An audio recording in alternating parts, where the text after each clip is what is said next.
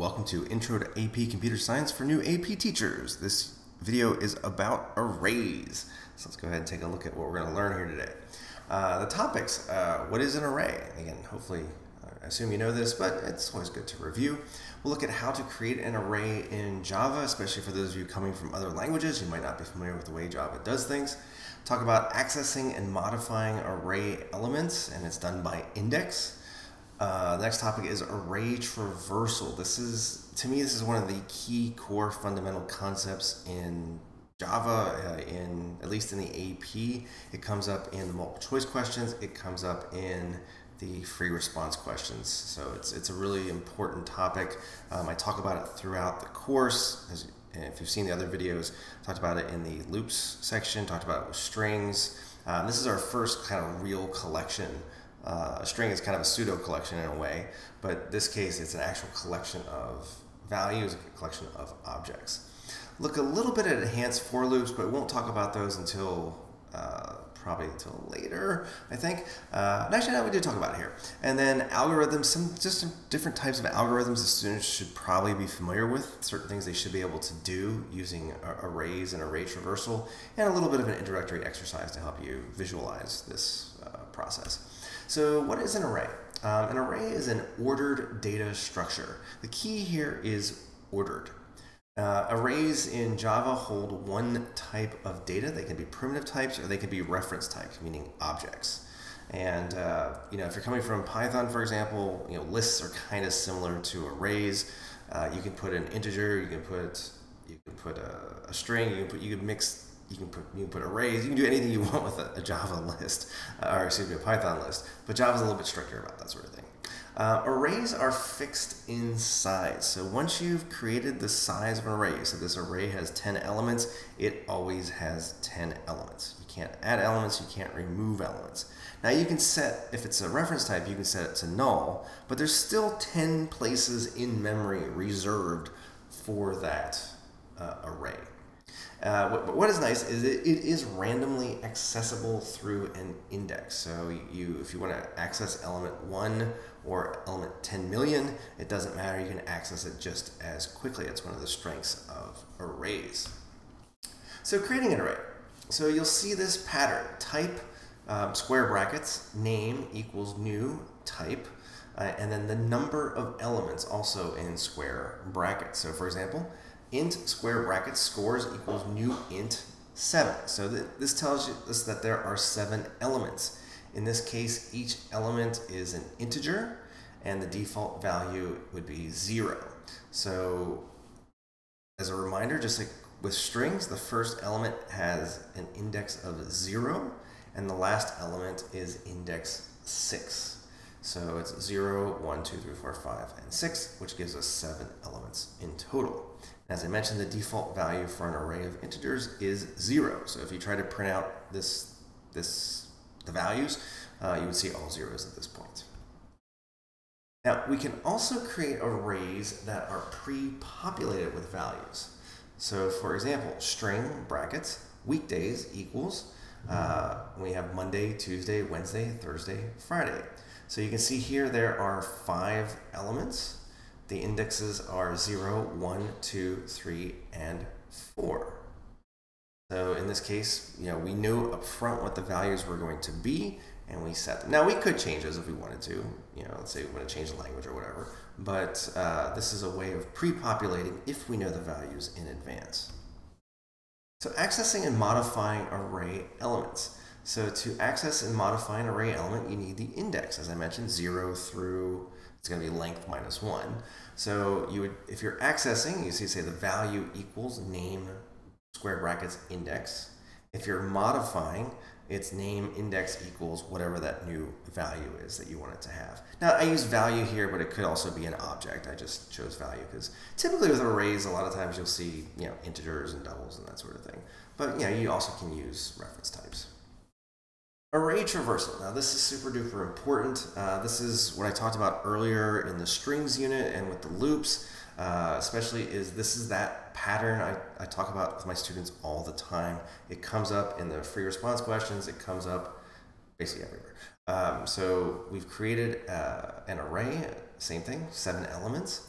So for int i equals 0, so i in this case represents the index. Not the i didn't come from that. It comes from an older programming language where i was an integer. And uh, so you might see, you'll see i, j, k used a lot of times. So we're starting at 0 because indices start at 0 while i is less than scores dot length. Now notice it's the array name dot length. There are no parentheses here. Okay? With strings, it was length parentheses. But with arrays, it's length. Wait to wait to array list because they do their own thing. Uh, and then we in, uh, increment i plus plus. So here's that pattern. So here's our for loop. Then we pull out each individual score. So the first score equals scores i. Then we do something with that score. Okay, so this is that standard pattern that I, I've talked about before in these videos, and I really emphasize with the students because uh, they have a lot of trouble with this, and keeping consistent is important. Another thing I really emphasize with the students is this is an array, so I ask them to make sure the name of their arrays are plural uh, because it's, it's a group. And then when we pull one item out, it's singular. So score, scores, name, names, uh, person, you can do persons or people. Uh, so student, students. It just keeps a certain level of consistency and helps, especially for ESL students who I have quite a few because I teach at an international school. This is, this is a really helpful thing to keep that consistency. We can do the exact same thing with a while loop, although typically we use for loops. Um, you can use a while loop, but uh, I really just kind of go with for loops. I'm just more comfortable with them, and I think they suit this, this pattern a bit more uh, naturally. So same thing, our, our, our, counter here, our index is i equals 0. The, the condition is i is less than scores dot length, no parentheses.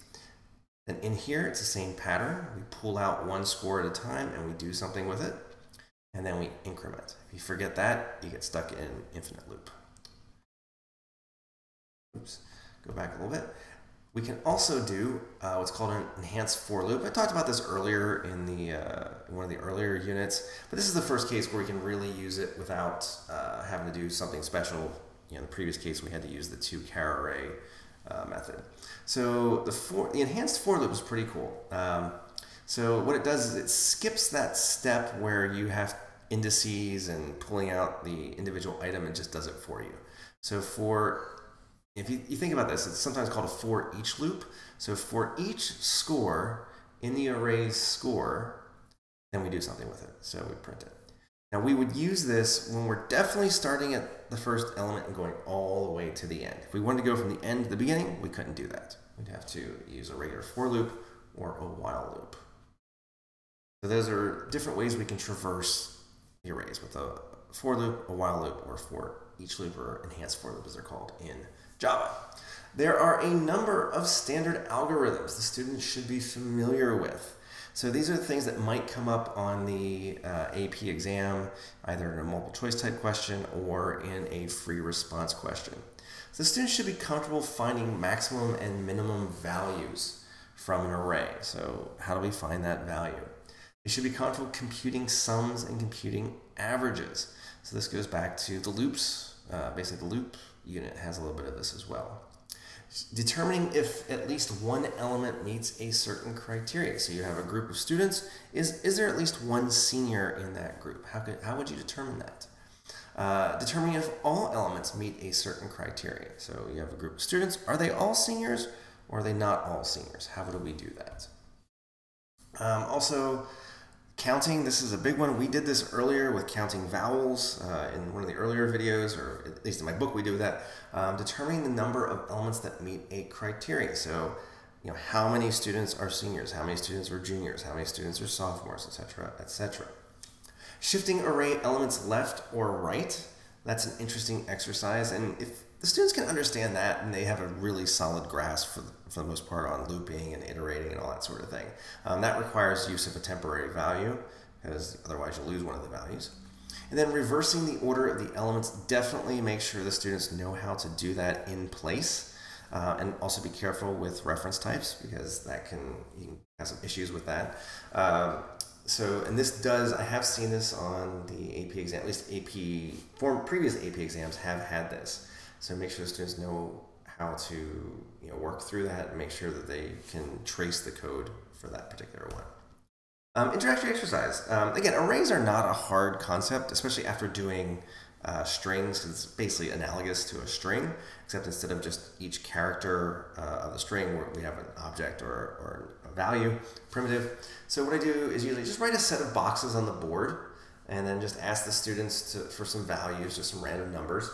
And then I give the students two slips of paper and I ask them to write down one access so system out print ln and then whatever you know those values are. You know, could be ARR, uh, ARR5, ARR3, and then one modifier ARR6 or you know equals you know whatever value. Uh, and then we take those, just randomly pull them out, and then write either write them on the board or put them onto the screen somehow if you have a projector, and then we just work through it. Okay, so what you know, how do we change the values of that array based on these particular commands. And you know, I'll throw a couple in there too, where I'll do like array three equals array four, uh, just kind of see if they can get the idea. Okay, well we can copy values uh, from one box to another box, which is pretty cool. So yeah, you'll find that that way they get an idea of how that system works, and it's a little bit visual, a little bit more active. Yeah, I like getting the students up and writing stuff on the board and that sort of thing. Um, so yeah, so we looked at what is an array, how to create an array. There's two different ways and it created basically an array with default values or pre-populated array. Saw how to access and modify the array elements. Um, array traversal with for loops and while loops. Array traversal with enhanced for loops. Some of the standard algorithms that students should be comfortable with, and hopefully a little introductory exercise to get you started. So good luck with that. See you soon.